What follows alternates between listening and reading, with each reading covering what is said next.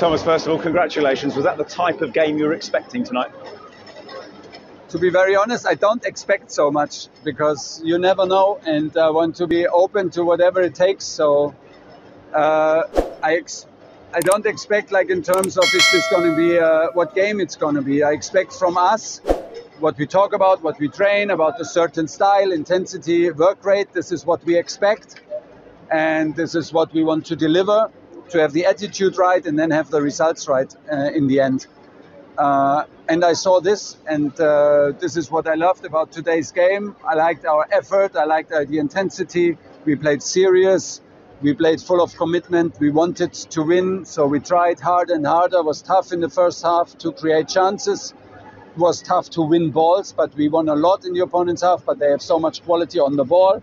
So, and they defended very, very well. So it was a tough one. We needed to be patient. And in the end, we have a deserved win.